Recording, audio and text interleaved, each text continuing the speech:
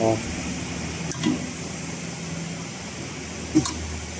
起针的时候，我们就是说上下那个线头一定要带走，然后。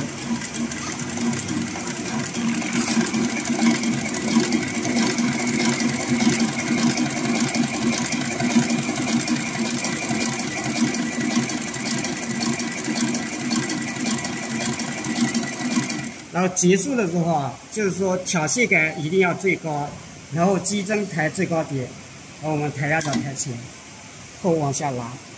比如说那个停针的时候，像这样停针，然后我们就是说用手轮把它坠到最高点，机针最高点，挑线杆最高点，机针要坠起啊，然后取线。